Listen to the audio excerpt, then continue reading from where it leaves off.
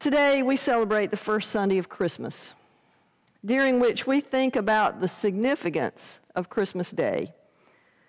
And the significance is the incarnation. The incarnation refers to the fact that in Jesus the Christ, God chose to become human, to inhabit a body made of flesh and blood. As Richard Rohr points out, Christ is not Jesus' last name. The Christ is part of the Trinity, part of God, and we don't need to forget that. The Gospel of John makes this very clear in its opening verses that I just read. John doesn't talk about the birth of Jesus like Matthew or Luke do. He begins at the very beginning, making it explicit that the Word, Christ, was with God in the beginning. All things came into being through Christ, this Word. Christ incarnate in Jesus is the light of the world who gives life. So, Jesus of Nazareth, the Christ child who was born in a stable in Bethlehem, was fully human and fully divine. In Jesus the Christ, God decided to be born into a human body and willingly be subject to all the human frailties and limitations that we face in order to show us how very much God loves us. It's astounding to think that the all powerful God, the creator of all that is, would deign to become human. But that's exactly what Christ did. This shows us that God prioritizes relationships and wanted to make it easier for us to have a relationship with the divine. So God became human to become more accessible to us. Now, there are a few things we can learn from the incarnation. God inhabiting a human body shows us that God loves every part of us. Our bodies for centuries have gotten a bad rap. There's been a dichotomy that splits the spirit from the flesh. The idea that the spirit or the soul is good and the flesh or the body is bad has been a part of Western Christian theology for centuries. It all started with Augustine and his concept of original sin that he developed way back in the fifth century and continues to this day. But when we really look at the life of Jesus the Christ, we see that God doesn't think our bodies are bad. Christ chose to live in one. With the incarnation, God bridged the, the divide between humanity and divinity and showed that the two could ex- coexist in one flesh. God also showed us that our bodies are important and that they aren't just vessels uh, for our souls. They are God given and miraculous. They allow us to both enact and embody our faith. Jesus showed us this. While he did talk theology and religious doctrine with the people, especially the religious leaders, Jesus spent far more time actually embodying his beliefs. He prayed often. He sought out those who needed a divine encounter. And when he saw a need, he just didn't talk about what God thought about it, he did something about it. And more, most importantly, he lived a life of love and acceptance of other, a life focused on inclusion and not exclusion. So the incarnation shows us that our bodies are good and they enable us to put our faith into action. In addition, the incarnation shows us the depth of God's incredible love for us. By being born a tiny, helpless baby, God became vulnerable. Even though Jesus was the Christ through whom all things were created, Mary and Joseph had to provide for him.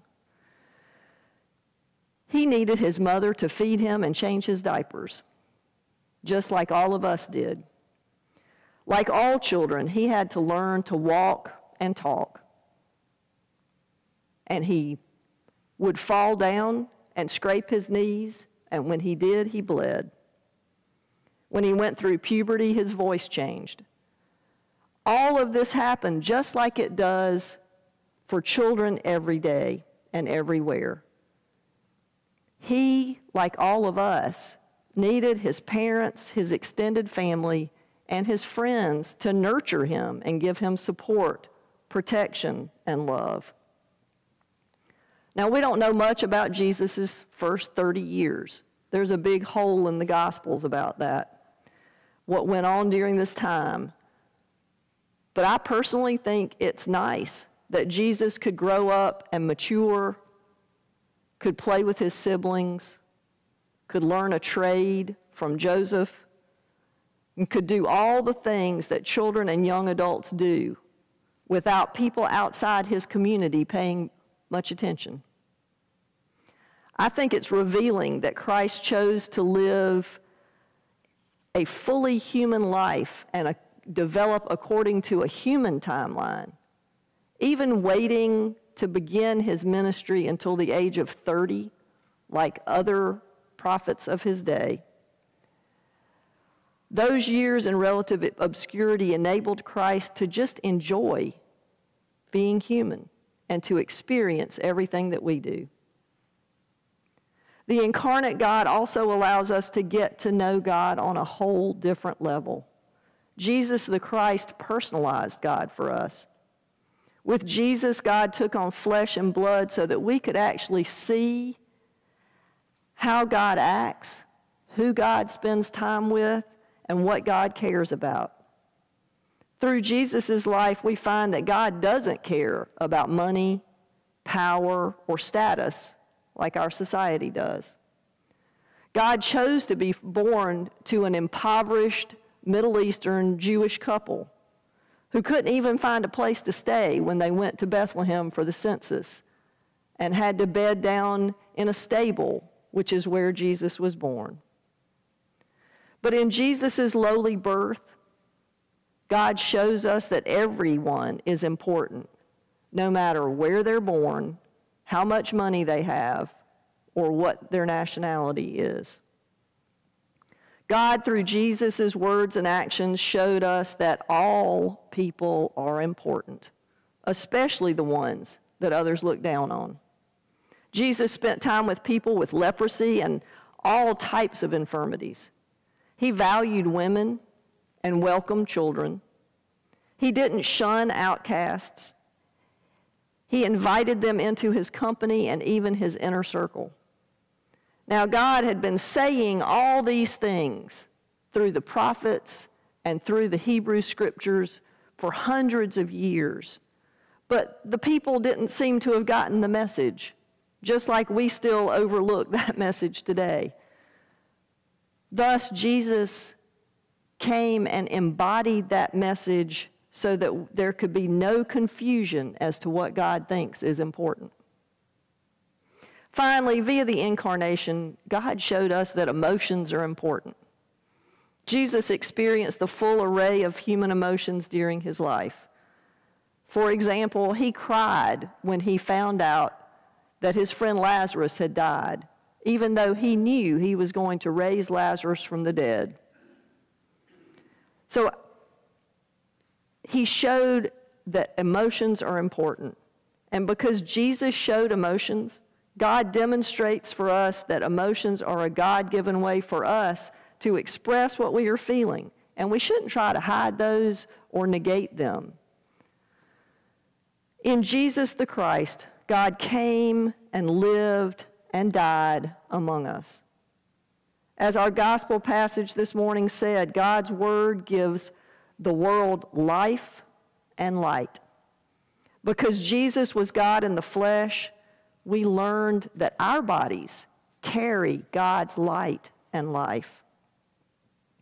Pastor Judith Jones puts it this way Jesus' body is God's temple, where the Word of God pitches its tent among us.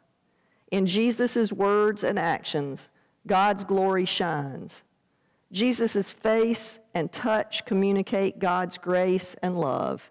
He not only teaches, but embodies God's truth.